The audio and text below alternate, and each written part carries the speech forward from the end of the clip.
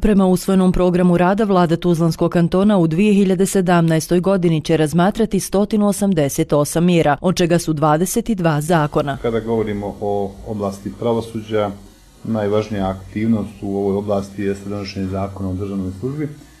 Kao što znate, vlada je u 2016. utvrdila nastavu zakona, javna rasprava je već završena, trenutno se analiziraju rezultati javne rasprave i očekujemo da u februaru mjesecu taj zakon bude na dnevnom redu vlade. E, Ministarstvo za prostorno uređenje zaštitu okoliša e, u okviru ovog ministarstva će biti nekoliko zakona, to je prije svega zakon o izmjena dopuna zakona o prostornom uređenju.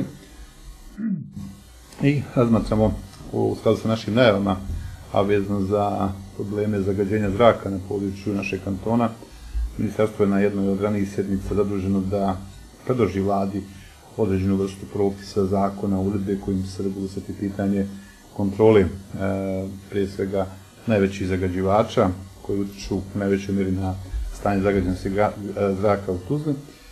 Kada govorimo o oblasti financija, tu je dalje dalja stabilizacija budžeta, traženje načina da se povećaju prihodi budžeta Tuzlanskog kantona, na drugoj strani da se e, i dalje radi na uštedama, odnosno se smanje rashodi u dijelu gdje je to moguće. Također očekuje nas najvažniji dokument, to je budžet za 2017. godinu.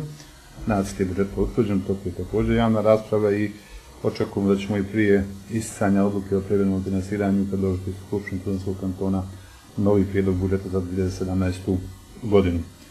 E, kada govorimo o oblasti privrede, znači daljna stabilizacija privrednih prilika u našem kantonu, jedan dobar dio problema je riješen u 16. i 15. godini, međutim još uvijek imamo značajan dio problema u ovom sektoru koji a, će biti na dnevnom redu rešavanja u 2017. godini.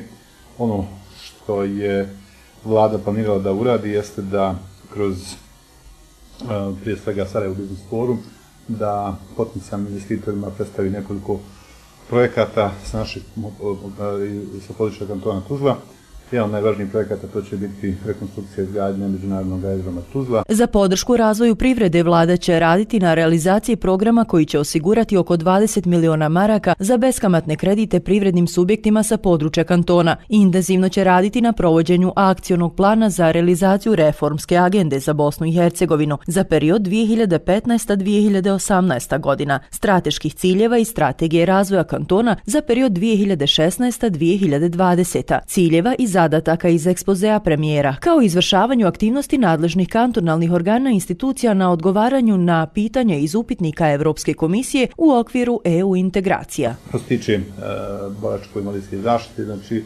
nastavak e, nastavak ispunjavanja obaveza vlade kada su u pitanju prava e, pripadnika boračkih populacija.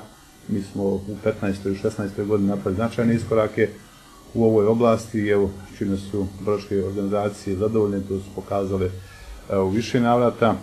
Kada govorimo o poljoprivredi, poljoprivreda je nešto što je resurs ovog kantona na, na kome vlada evo zasniva i određene svoje strategijske politike ovaj, i moram ovdje još jednom pomenuti da smo u 16. godini imali negdje oko 700 novih eh, registrovanih poljoprivrednih obrtnika što je u značajnoj mjeri utjecalo na procenat povećanja broja zaposlenosti na našem kantonu. U narednom periodu nastavit će se proces rekonstrukcije vlade u smislu rastrećenja Ministarstva obrazovanja, nauke, kulture i sporta, osnivanjem novog Ministarstva za kulturu, sport i mlade, te spanjem Ministarstva industrije, energetike i rudarstva i Ministarstva razvoja i poduzetništva u jedno Ministarstvo privrede.